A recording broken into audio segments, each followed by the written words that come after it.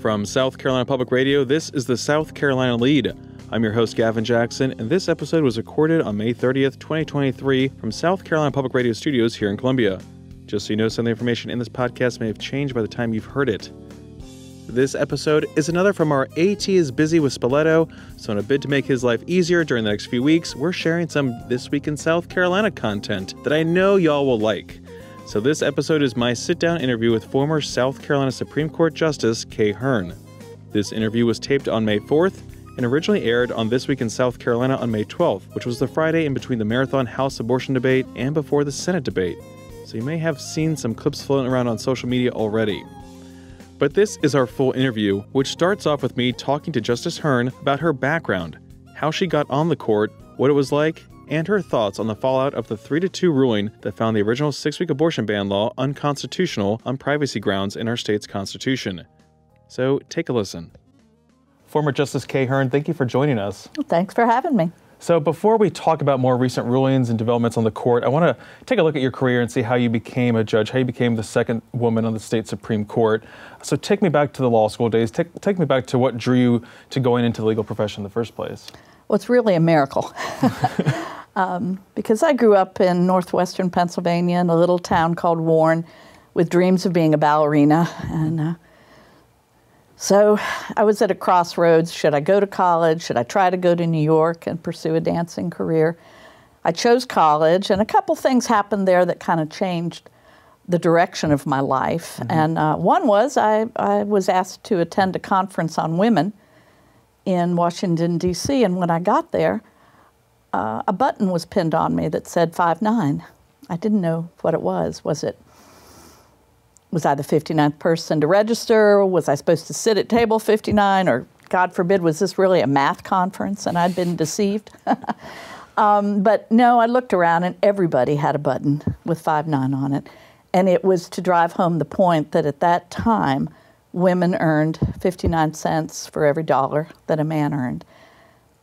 You know, I had led a somewhat sheltered life. I had no idea that mm-hmm. life wasn't fair at that point. And I had a paradigm shift, although I didn't know what it was called then. And um, I never looked at the world quite the same way. So I, I sort of changed my course and decided I wanted to do something that I thought would make a difference. Mm-hmm. I, I loved history and was majoring in that. So, uh, and you know, uh, growing up, I loved to kill a mockingbird. Who, who didn't? So I decided I'd go to law school, which mm-hmm. wasn't a real typical career choice back then for women. But my parents were all for it, so I went to law school, came down here, saw the University of South Carolina, saw Columbia, just fell in love with mm-hmm. this town and the university. Still am. It's been a long love affair. Yeah. you know, at that point, there were no women judges. Yeah, I was going to say, what was it like at USC Law back in the 70s? I mean, going through the school, navigating that at the right. time. It was exciting because mm-hmm. even though there, there were only about 20% women, there were 20%. And so we were a bit of a force to be reckoned with. And you could just feel the world changing around you. When I came to law school here, women had just earned the right to serve on juries a couple years before mm. in South Carolina. So it was, it was sort of a time of change when law firms were considering, well, maybe we do need to hire a woman because now we've got to talk to women jurors, not just men jurors. Mm-hmm. And I did want to do trial work. I, um, I grew up on the stage and singing, dancing, acting, and I, I public speaking. So I didn't want to be a backroom lawyer. During my senior year in law school, well, two things happened. First of all, I guess I should tell you that they were debating the ERA mm-hmm. in the General Assembly. Mm-hmm. So someone, it wasn't my idea, somebody had the idea that some of us should go watch the debate. So a bunch of us, mostly men, law students and me went over and sat in the gallery of the State House. And who was, who was arguing in favor of the amendment? Jean Hoefer Toal. Mm. First time I ever laid eyes on her. Uh, now, ultimately, uh, the amendment went down to crashing defeat here in South Carolina and nationally. But I came away from that evening just so impressed with this plucky woman legislator from Columbia. And had I ever imagined that the two of us would be elected on the same day like 25 years later, to lead the two highest courts. Well, it's something I never could have thought of because there weren't any women judges. Mm-hmm. So there were no role models in that sense. But, uh, But you did get a start there from college up and after graduation. I mean, you kind of had your pick of, of some things, but then a, a pivotal decision got you kind of on a juris track in a way. Well, the, and, and that decision happened during my final year in law school. I had accepted a job with a firm here in Columbia that I had been clerking with and, and was very happy with that decision. But then I received a letter from a justice on the Supreme Court, Julius B. Ness from Bamberg, whose nickname was Bubba.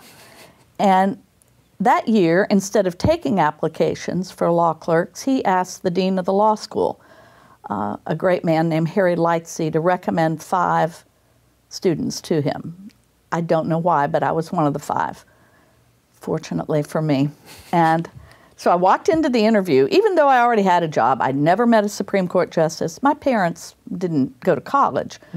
I was the- going to be the first lawyer in the family, so I wanted to meet a Supreme Court justice, especially one named Bubba. I'm glad I get to meet one, but continue on.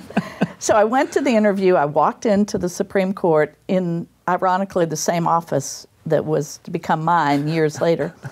And he stood up and shook hands and smiled. And I thought, oh, this is good. He seems like a regular guy. But the first words out of his mouth were, I have a lot of problems with you. And I'm thinking, my goodness, he just met me. He's the one who invited me to come interview. And I said, Sir? And he said, Well, first of all, you're a girl. And you know, I don't know, I just automatically said, Well, you're just going to have to talk to God about that. He laughed, I laughed, and I got the job. Mm-hmm. So that changed everything in my life. And I mm-hmm. became so close to him. I moved to Bamberg.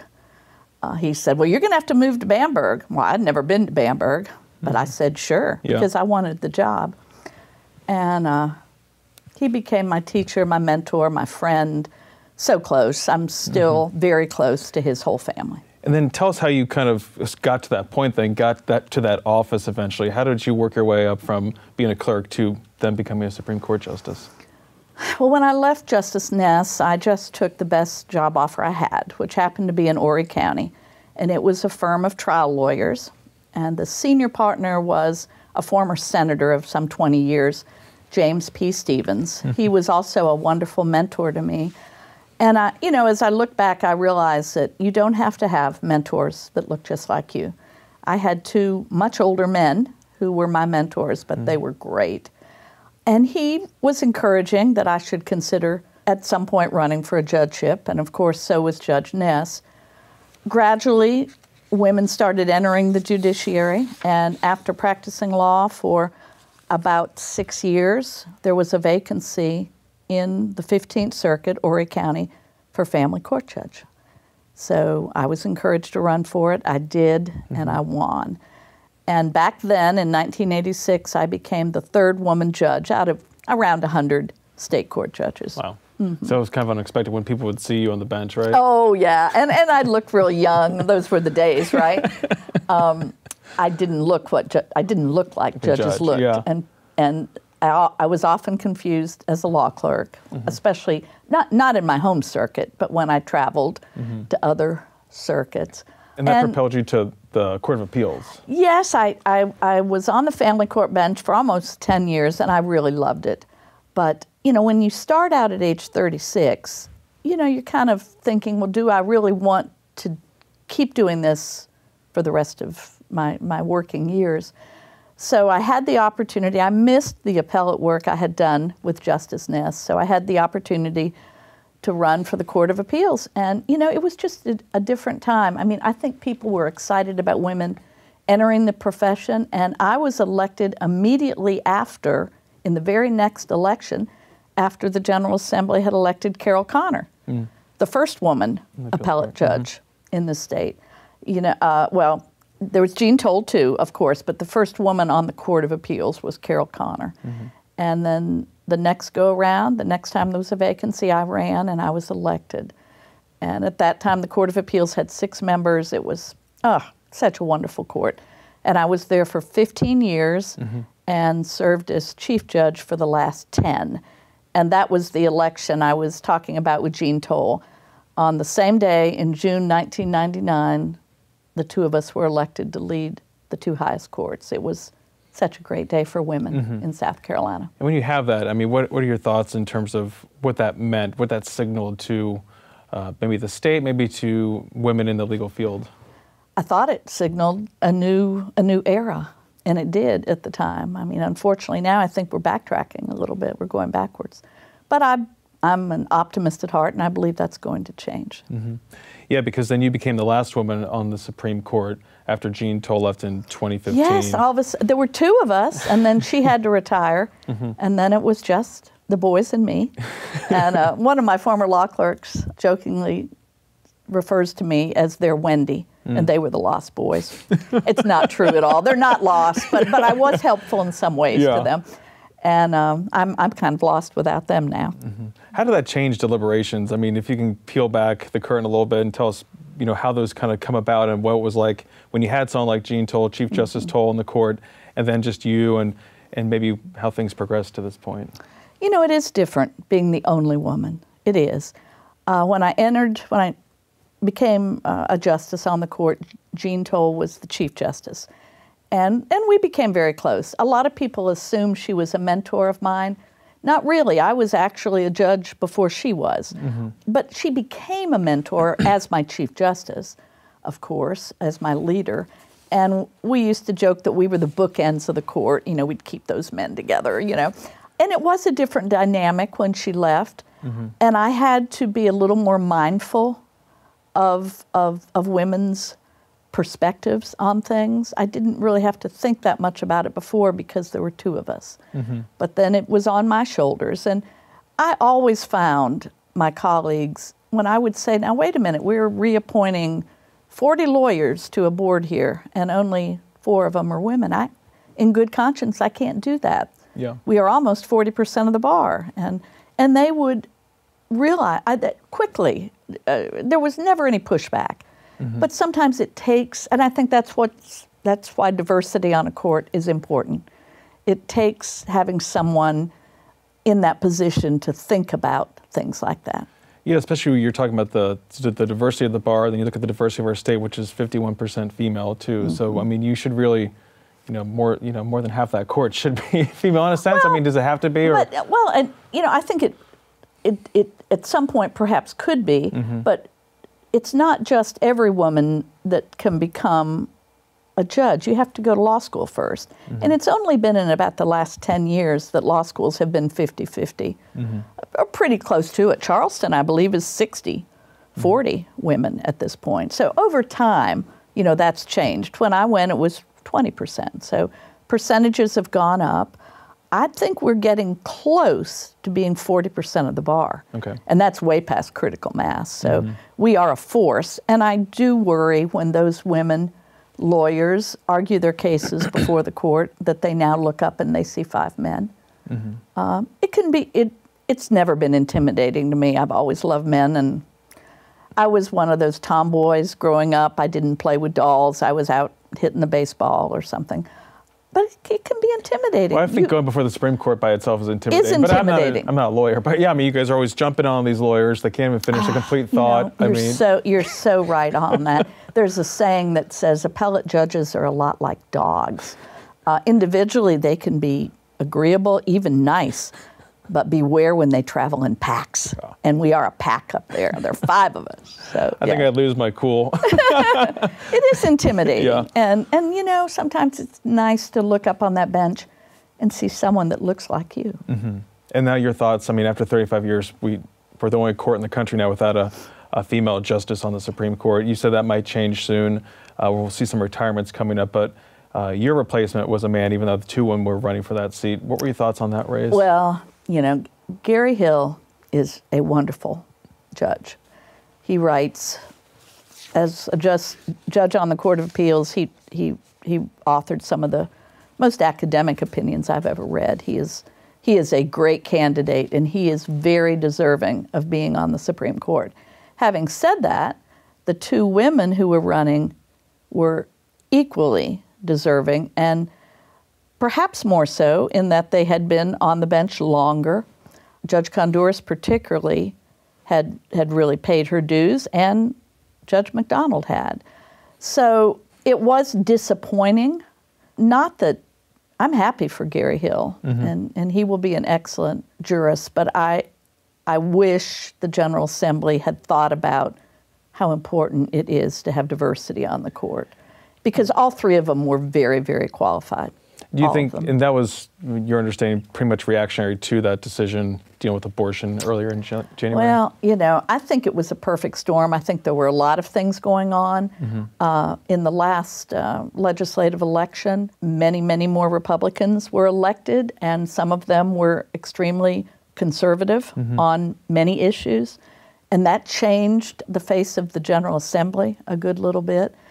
I'm sure that our Planned Parenthood decision didn't help, but you know, yes, I authored the lead opinion, but there were two male justices who agreed with me. Mm-hmm. So I, Yeah. I really regret that that opinion would have had any impact on this election, but I do think it, it played into it, mm-hmm. sadly. and you stand by it. Absolutely. Mm-hmm. Absolutely. I mean, if you are going to pass a law, a statute dealing with, with abortion, you need to give women enough time to know that they're pregnant. And six weeks is a joke, as every woman, every woman knows. Maybe some men don't know that, but every woman knows that. And that was the law that was passed in 2021. Then that was in the federal courts until the decision with Roe got overturned. Um, then another lawsuit kicked it to the state Supreme Court. I want to talk to you about abortion further and when the day that Roe was repealed. Did you think in the first place that that was a good decision by the U.S. Supreme Court when it came to Roe? And what were your thoughts when it did get repealed? Well, you know, I grew up with Roe. I don't know if I had been authoring Roe that I would have based it on a right to privacy since there is no right to privacy in the mm-hmm. U.S. Constitution. But I do believe very strongly in a woman having the right to make medical decisions about her own body. We in South Carolina have a provision in our Constitution that specifically gives our citizens a right to privacy. That provision has been interpreted by our Supreme Court to apply to a death row inmate who did not want to be medicated before he was executed. Mm-hmm. And as I said in my opinion, it's just inconceivable to me that a convicted murderer would have a greater right to privacy over medical decisions of his body than a woman. So, because we had that right to privacy, we were able to reach a different decision than the Dobbs court did. I thought Chief Justice Roberts' opinion was very reasonable. I certainly believe in reasonable restrictions on abortion. Mm. I don't really want to discuss that decision too much because I think my decision speaks for itself, mm-hmm. and I don't really want to editorialize on it. But you all did write separate opinions too, which is kind of rare. Is that just really a way to show that you guys aren't legislating from the bench, which I'm sure has always been a worry mm-hmm. from folks across the street from the State House uh, and the Supreme Court, I should say? Mm-hmm. You know, I think it was it was also a very important issue that we all felt strongly about. Uh, I felt strongly that the right to privacy resolved that statute. Now, if the statute had been 12 weeks, 15 weeks, I may well have felt differently. Chief Justice Beatty felt strongly that there were other constitutional implications, like equal protection. I, I don't necessarily disagree with his opinion, but I didn't think we needed to go there. I thought the right to privacy was strong enough. So obviously there was a lot of blowback from that opinion too. Ac- across the street from the State House and the Supreme Court, like I said, um, the House and the Senate, the governor's office, they were all kind of spun up about that. That was probably expected. Uh, was there any kind of It wasn't expected that the governor would mention it In in the state of the state. No, that was not expected. So I guess let's talk about unexpected uh, fallout from that decision. I mean, what kind of blowback did you see? Did you see support? What was the reaction that you were I hearing? saw so much support, it was amazing. I got letters from strangers all over the state, many from OBGYNs thanking me. I walked into a restaurant in my hometown and people stood up and clapped. I don't think the General Assembly has a clue how the majority of people in the state really feel on abortion, and I hope they'll figure it out. And we've seen polling that shows that there's support for abortions with exceptions up to a certain time. Yes. And um, we've talked to people about that too, and gerrymandering plays a little bit of a role in how It that does. plays out. It does. Sadly, it does. And and you know the other thing that was so interesting, I received quite a few messages from wives of legislators, mm. legislators who, unfortunately and very sadly, felt they had to vote a certain way on that act. I don't think in their heart they believed it. Their wives certainly didn't, mm. because they applauded my decision. So, I did not. You know, I I was shocked when the governor, as a litigant in a case that was still pending before us, and certainly as a lawyer and a former U.S. attorney, Yeah. he knew better. I was shocked uh, when he blasted the court. I've been going to those uh, State of the State addresses uh, since 1995, and it's always been so cordial. You know, we have so much respect for the General Assembly on the court and so much respect for the governor, and it was very disheartening to see that that was not reciprocated.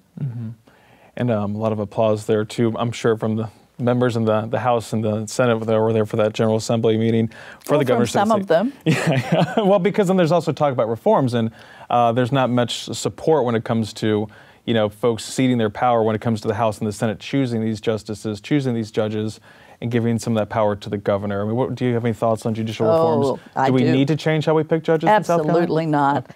When I was chief judge of the Court of Appeals, I rose through the ranks in the national uh, organization of chief judges. It's called the National Conference of, of Chief Judges, and I ended up being president of that group. And I, I was very close friends with chief judges from all over the country. And I spoke with many of them about their systems of election. Of course, public election is the absolute worst. I remember a conversation I had with one of my friends in Texas who had to raise several million dollars to obtain a position that at that time paid about a hundred thousand. And I said to him, Well, who gives you this money? And he said, Well, big corporations, law firms. I'm like, Well, isn't that a nightmare? Because you have to recuse yourself then when those lawyers or those corporations come in front of you. And he looked at me like I was nuts. He said, Of course I don't. That's why they're giving me money. I think that would be a terrible, terrible system, terrible for judicial independence. Gubernatorial appointment is fraught with so many political uh, considerations that I don't favor that. I, I'm not saying that we have the best system in the world, but I think it's the best of the ones I know. We do have several merit based steps. We have a citizens committee that screens you. We have a bar committee that's pretty powerful, and they send out surveys, and the General Assembly, they, they listen to, to those results. And then we have the ultimate, um, uh, we give testimony, the candidates, in front of the Judicial Merit Selection Commission. There was a period of time for quite a few years where there were no women on that commission. And I made a lot of noise about that, and I encouraged women lawyers to make a lot of noise about that. Fortunately, that's changed. There still are not enough women on that. Should be should be 50-50 in my view, but it's not. So I do I think there could be some improvements? Yes, but um, we have an amazing group of judges in this state. We really do. They're hardworking. They're personable. Uh, they they handle more cases than most judges in other states, and I'm I'm very proud to have worked shoulder to shoulder with them. And I, I think our system of election is a good one. And Justice Hearn, with less than a minute left, just um, where do you go from here at this point in your career now, and uh, maybe some advice for folks who might want to jump into the legal field? Mm, gosh. Well, I ultimately plan when I'm finished, I'm still serving as an acting justice because there's some opinions circulating that I sat on. Uh, I am sitting with the court for May term for a couple days. I'm going to do that for a few more months, but and, and that's very typical. Most justices who retire do that. Um, and then I intend to go into private practice and do appellate work because that's really the only thing I think I'm capable of doing. I'll probably be more involved with my church, more involved with our community theater group, which is also a love of mine. My advice to anyone thinking about law is go for it. It is a wonderful profession. So many doors are open to you. You don't have to be a trial lawyer. You could be a transactional lawyer. You can use your law degree in business. It is a great profession for everyone, and I'm very proud to have been part of it. Former State Supreme Court Justice Kaye Hearn, thank you so much for talking with us and sharing your insight. Oh, absolutely my pleasure. Thank you. You can find that entire interview on youtube.com slash South Carolina ETV, where a lot of great content lives. And again, folks, thanks for listening to the pod. You can always show us your appreciation by leaving us a review on Apple Podcasts or a voicemail at 803 563 7169. Can also stay up to date with the latest news on scetv.org and southcarolinapublicradio.org.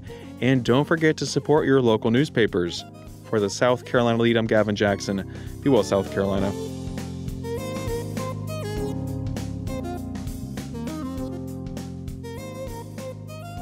Right now? hey, folks! it's me,